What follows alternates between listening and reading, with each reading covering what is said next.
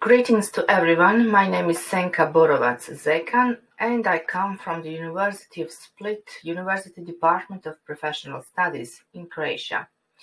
Today I will present you how I include all of the 17 Sustainable Development Goals in my course Event Management. The presentation outline is as follows.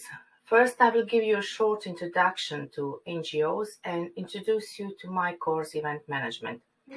Then I will present how we implement all of the SDGs in our projects and how we make NGOs more visible. I will identify the main stakeholders and suggest the next steps to be taken. Non-governmental organizations uh, are non-profit organizations and they represent a specific form of organizing of citizens. The tribe contributes to the promotion of peoples living in the environment in which they act, to democratic development and enforcement of political, economical, and social reforms, as well as to the right of citizens in freedom of thinking, religious, and cultural beliefs and preferences. The promotion of NGO is thus in the society is crucial for their target group. Therefore, their close cooperation with the universities an ultimate necess- necessity in order for the media and interest groups to familiarize themselves with the subject of their work and their role in the society. NGO mobilization is required to ensure the Sustainable Development Goals are implemented at the national levels. This presentation is focusing, focusing on how to improve NGO visibility and different social groups' inclusion in society. It appears that although NGOs are increasingly aware of the SDGs, they still need help in organizing activities such as press conferences, roundtables, seminars, debates, and all other types of events during one year. The events organized by the NGO sectors should possess a dash of attractiveness, and in order for the cooperation between them, between students, media, and companies to be more successful in terms of meeting the needs of their end users. Uh, the students at event management course are working on two projects. The first project is uh, finding NGO and conducting an interview with the person in charge. And the second project is planning and promoting the event for the specific NGO. Event organization activities of these organizations are very important.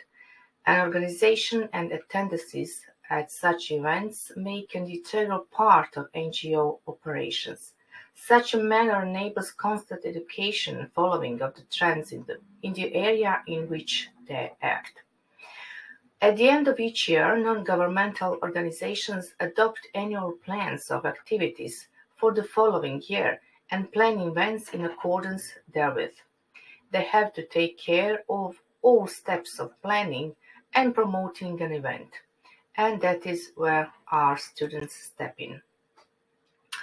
Students need to think of everything that will be required for the event. This includes answers to the what, why, how, for whom, and when of the event. They go through the points and see if organizing the special event is the best possible solution to achieve the given objective. They discuss with other team members the purpose of the event, the dates, the target audience, etc., and take their feedback. A typical plan should have the following details in place. First, goals and objectives. To ensure success and to guide their teams, it is important for them to have a predefined goal and objective for the event.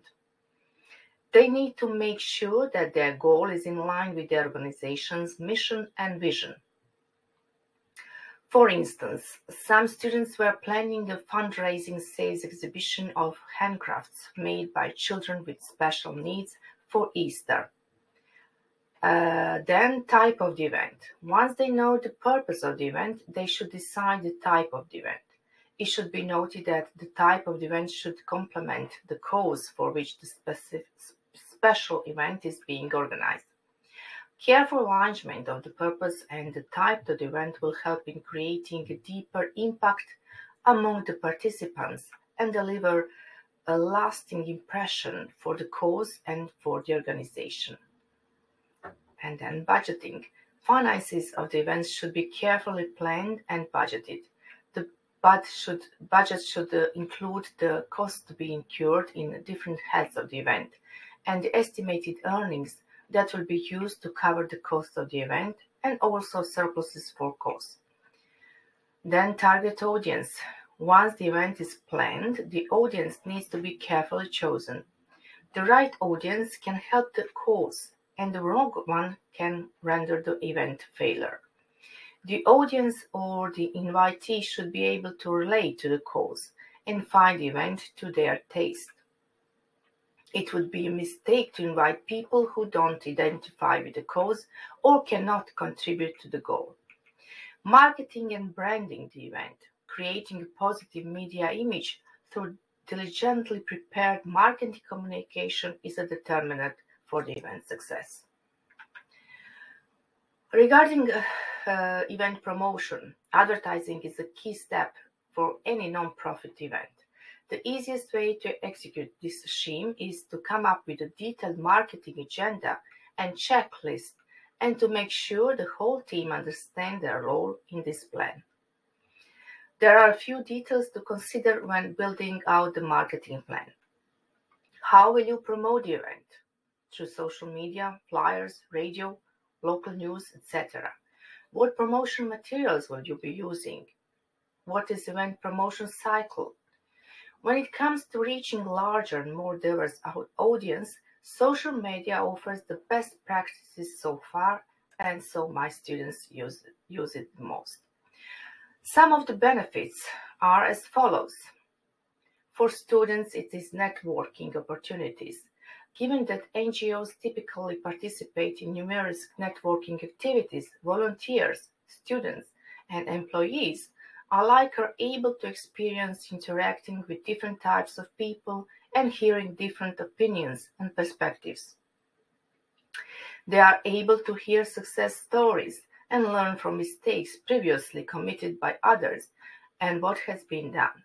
Students gain practical experience. In recent years, many NGO project management and courses on development studies have been established by many academic institutions. Employees of NGOs have had the privilege of taking these courses to further development their knowledge in the field. Professors can also organize training seminars. Companies, as donors and sponsors, can improve their social and environmental performance and find new market opportunities through partnership with non governmental organizations and universities. And finally, NGO plays a critical part in developing society, improving communities, and promoting citizen participation. So, what to do next? Change is possible. The change is unstoppable. We have to go a step further and detect NGO who are willing to cooperate with us. We need to involve the university and our faculty decision makers in this project. We want this to be a part of the curriculum and to define crucial steps to be taken. By that I mean the ad- administrative uh, part of the projects.